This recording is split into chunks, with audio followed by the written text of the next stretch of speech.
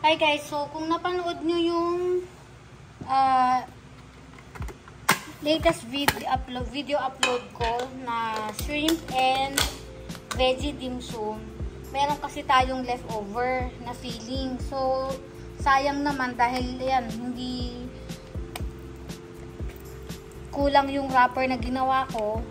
So, ang gagawin natin, huwag natin siya itatapon. Gamitin natin ulit siya sa ibang purpose. Dito sa bahay namin, kahit buto ng manok, uh, tinik o mga um, tawag nito, yung sa mga isda, ganyan, yung mga scrap, walang tapon yun guys. Ginagamit ko sila lahat. So, pero dahil kulang yan, dagdag tayo ng konting shrimp. Yan. Tapos lagay na rin tayo ng uh, meron akong cilantro and chives. Para naman hindi natin minodify siya, di ba? Tapos lagay rin tayo meron ako ditong leeks. Staple sa akin ng ano eh. Staple sa akin ng leeks sa bahay. So, lagay natin yung leeks. And then, Lagay din tayo ng pepper. Modify lang natin siya ng konti. Then, salt. A little lang. Then, lagay tayo ng konting cornstarch. And then, sugar. Konti lang din. About tig 1 teaspoon lang sila. So, lagay na natin yung takip. Blend na na. I-chop na natin siya. Sorry. Hindi pala i-blend. Hindi pala blender itong gamit ko. Food processor.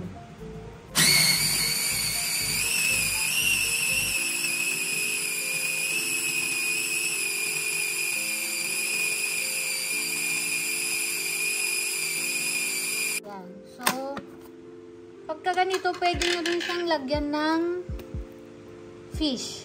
Fish fillet, mag-fillet kayo ng tilapia, or kung meron kayong sobrang tilapia na in-steam, pwede rin siya. Maraming ano, pwede rin lagyan siya ng kalabasa para sa mga anak nyong hindi mahilig kumain ng gulay. So, hindi na nila mapapansin yan.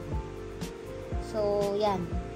Gawin na, sa habang ginagawa ko to kanina, yung tofu is uh, Rinain ko na siya sa paper towel. So, bago natin i-prep yung tofu para may steam natin, gawa muna tayo ng sauce para itong kawali or pan na to ang gagamitin natin pang steam. So, fish fish sauce. Ang hirap naman i-spelling. Fish sauce. Tapos, 1 tablespoon lang. Then, 1 tablespoon oyster sauce.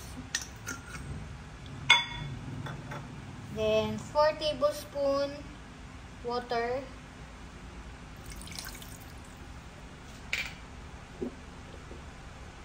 One teaspoon cornstarch.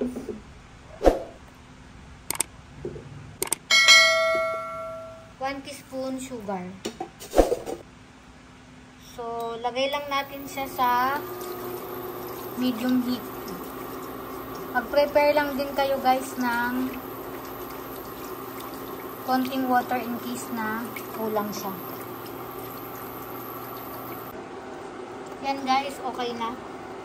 So, pwede nyo i-adjust yung saltiness and uh, sweetness niya depende dun sa preference niyo. So, set aside na natin to. Then, mag steam na tayo. Assemble muna natin yung tofu.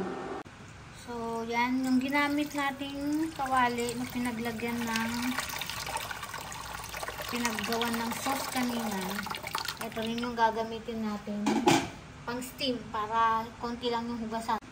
So, ito na guys, yung tofu. So, yan, binutasan ko lang sa ilalim. Actually, yung iba, hindi naman nila binubutasan, pero gusto ko lang para walang matira na sa feeling.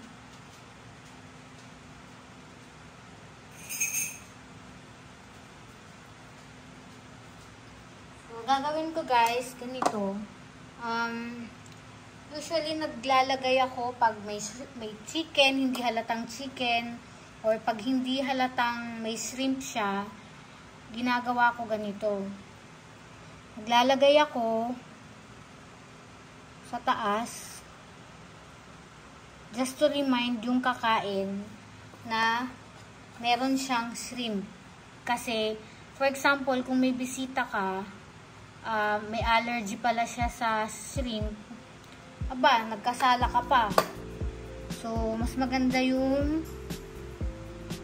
meron kang marker na ganyan para aware sila. Eh, paano kung busy ka nga namang nagluluto? ba? Diba? Tapos, may allergy pala yung bisita mo. Nagka-problema ka pa nang wala sa oras. So, lagyan na lang mo ng marker para alam na nila na may shrimp yan. Parang naparami ito sa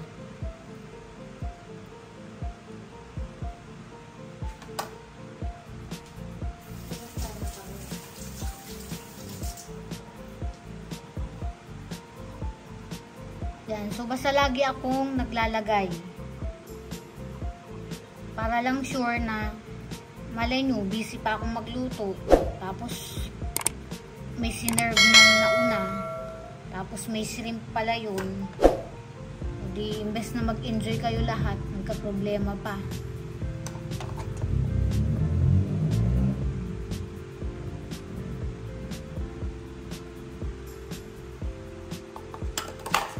rin natin to kasi kaya ko nga siya minodify para hindi siya itapon at hindi siya sayang. By the way, yung tinanggal ko na tofu dyan sa gitna, hinalo ko din dito sa ano, hinalo ko din dito sa mixture na ginawa ko kanina sa food processor. Pusin na natin para ano. Pwede ka rin dito maghalo ng kalabasa. Yung mga hindi kinakain ng mga junakis ng pagkain, ng gulay. Ilagay nyo na. O kaya i-incorporate nyo doon sa mga madalas nilang favorite na inuulam.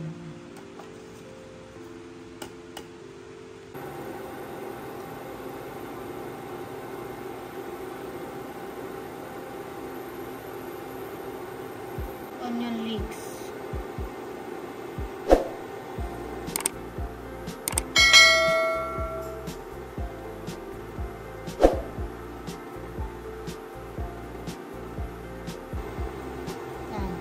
Steam natin siya around 8 to 10 minutes. So, takpan natin siya. Muna. So, yan guys. Check na natin after 8 minutes.